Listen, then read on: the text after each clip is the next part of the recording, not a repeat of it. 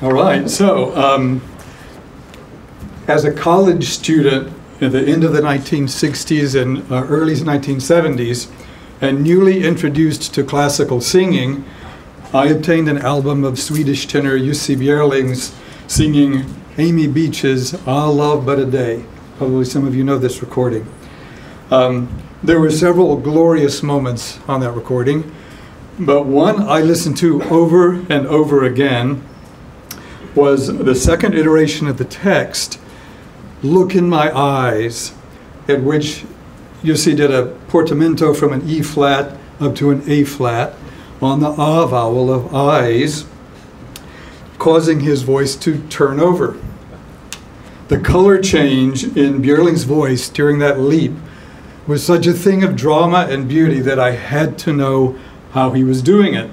I listened to it over and over again, and it goes like this.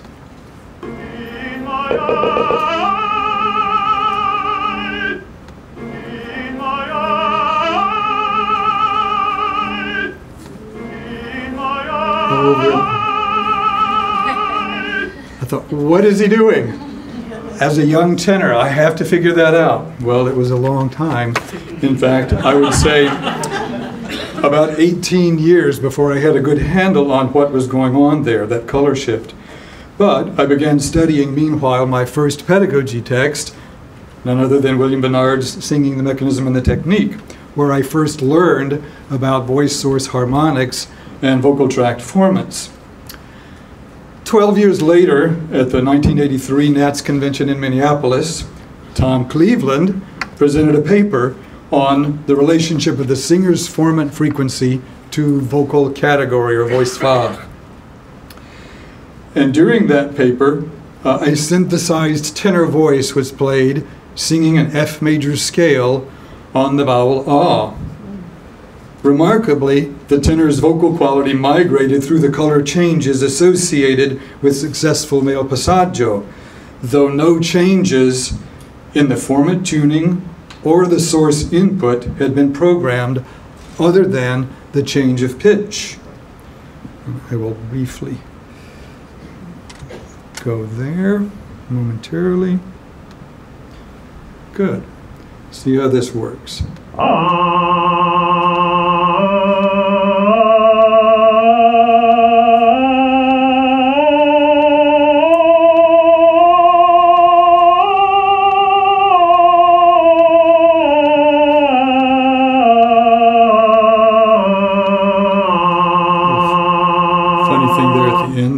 quite sure what that was about.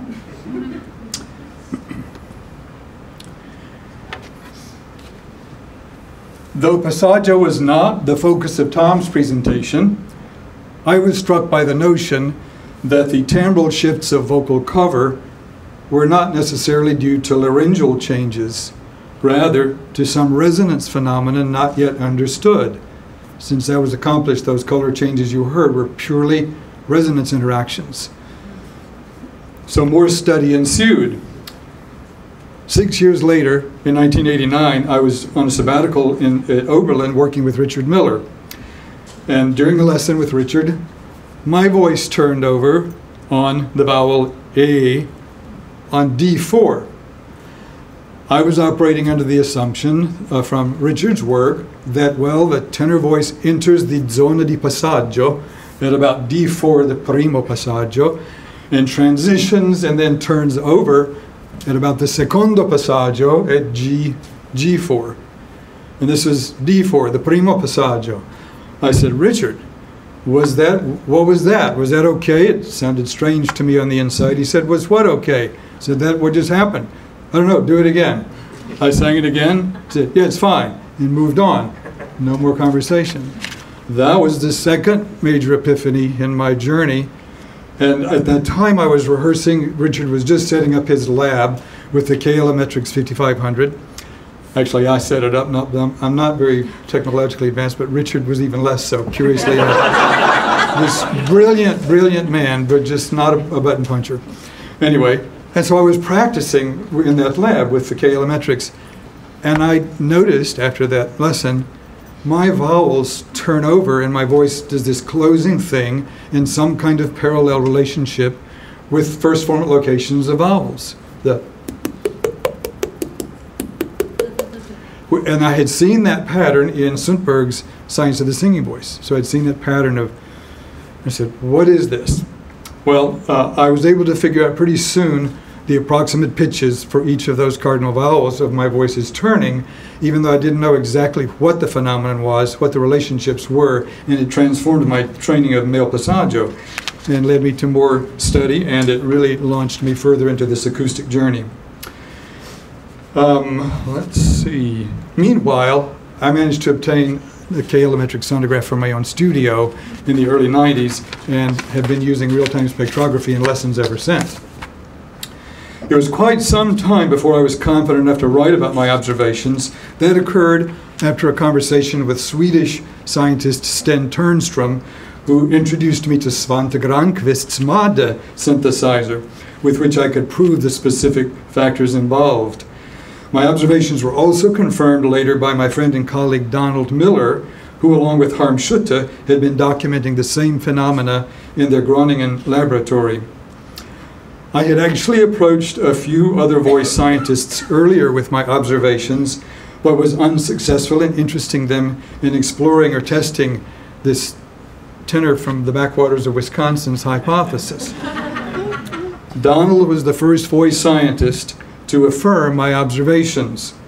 So in two, 2007, uh, I finally wrote an article for Richard Miller Festschrift edition of the Journal of Singing in Scott's uh, column area entitled A Case for Voice Science in the Voice Studio, in which I stated the theme of this conference really there is no necessary conflict between the art of teaching and the investigations of voice science. If approached with sufficient care, patience, and humility, they can be tremendous allies. This is not to say that emerging voice science always has been on the right track, nor that everything it observes is of use in the studio. That is not how science proceeds, nor is pedagogy its only or even its primary purpose. The best hope for effective collaboration lies both in increased communication and cooperation between excellent teachers and excellent scientists and those few individuals who are truly conversant in both fields. The more that teachers and scientists honestly and respectfully seek to understand each other, acknowledging the value of each other's perspective, the more progress we will make. By working together, well designed and executed studies can be undertaken that will fulfill that which motivates both communities our mutual love of beautiful, liberated singing. Since then, I've written a number of other articles and a couple of books on my acoustic observations. The value of these observations to studio pedagogy, uh, observations which in, are in general agreement with the work of other teachers and researchers such as Donald Miller, Harm Schutte, Burton Coffin, Johan Sundberg, Ingo Titze, Scott McCoy, and many others. There's a growing number of younger researchers that are doing great work. Uh, Anyway, the, the, the uh, possible value of, of these observations include the following implications.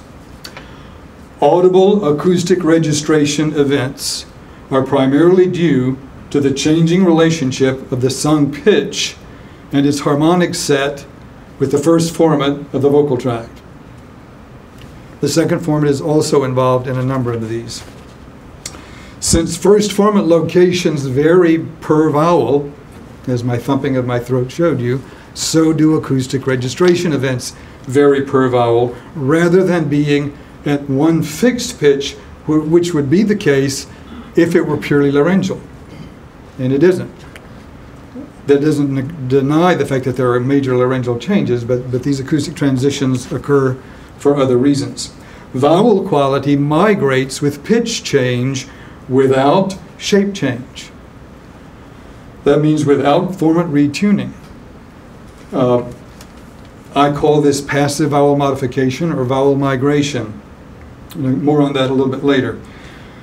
Passive vowel modification or migration is sufficient for most pitches that lie below first formant locations. You can just let things passively modify for most pitches that lie below the first formant location.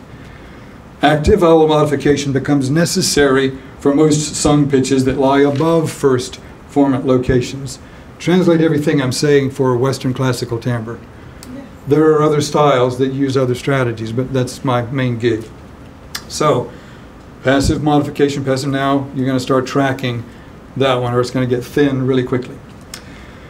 The relationship between acoustic registration events and male and female passaggi can be predictably mapped. Knowledge of all of these implications facilitates improved efficiency in training vocal range for Western classical timbre. These principles transformed my own teaching, first of non-treble male passaggi and eventually of female and treble voice passaggi. Where acoustic events occur and why is very predictable. It only requires knowledge of first formant locations and the first few intervals of the harmonic series. The primary acoustic transition of a voice, each, the primary transitions of a voice, each involve the intersection of a voice source harmonic with the first formant when they pass each other. And first formant locations are relatively easy to identify. Here's a set right there. I didn't know I'd already gotten to that. Uh, first formants are in these boxes, these IPA symbols in the boxes. Notice they're all in contact with the treble clef.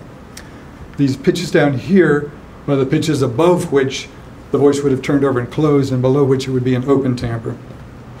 The two primary acoustic events are the primary acoustic transition of the voice from open timbre, voce aperta in Italian, to closed timbre, voce chiusa, when the second harmonic from the voice source crosses above the first formant. So when you sing above these black notes, the voice is in closed position on each of those vowels. This is primarily a concern of non-treble male voices that sing mostly in the bass clef and a little bit up into the treble clef because we, we cross that all day long. The second main transition is the arrival from closed timbre into what I have dubbed whoop timbre, Donald Miller calls hoot uh, tuning, which is when the sung pitch matches the first formant. And you get a very heady round color. That would be if you were actually singing the pitches in these boxes. That's in whoop timbre. I'm tracking whoop timbre there. That's mostly relevant for treble voices that sing through the treble clef and above all day long. The passaggi of basses, baritones, and tenors are surrounded by a cluster of acoustic events, which, if honored, facilitate smooth register transition, but if violated, interfere with passaggio negotiation. Some of these secondary transitions, which occur within the bass clef, occur when you're singing pitches whose third or fourth harmonic are interacting with the first formant.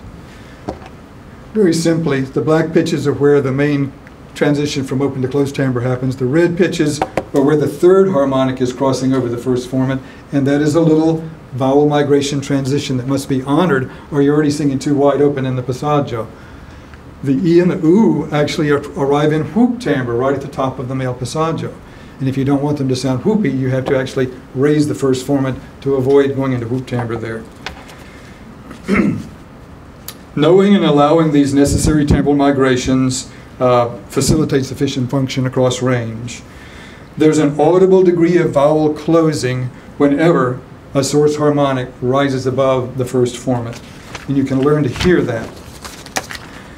Understanding the cause of timbral migration has been significantly advanced through the recent psychoacoustic work of Ian Howell, sitting over here in the third row. Thank you, Ian, of New England Conservatory. His elaboration of the relationship between frequency, spectral tone color, and the darkness-brightness continuum, and also the relationship of harmonic spacing to timbral roughness has added much greater specificity to our understanding of human perception of sounds and of why vocal timbre migrates as it does. Here's a chart of spectral tone color. Given this more detailed mapping of the acoustic landscape that singers inhabit, the challenge that remains is continued exploration of the simplest strategies for stimulating migration across these transitions. In that regard, my second book kinesthetic voice pedagogy, motivating acoustic efficiency, ventures further into singer perception of the processes involved. It revisits a, a, an intervening article also in Scott's uh, column in the journal called Remapping the Open Throat, Gola Aperta. In that chapter, I, the prephonatory tuning of the vocal tract necessary for beneficial feedback on the voice source is explored. Prephonatory tuning refers to the somewhat intuitive shaping of the vocal tract for the intended vowel and timbre prior to phonation. A variety of studio strategies are offered to counter the notoriously misleading kinesthesia of an open throat. Uh, getting this vocal tract poise right is essential to acoustic registration. In a later chapter, I explore my adaptation and application, and frankly, simplification of Ian's great work, uh, using the, the, the, useful lie or useful fiction principle.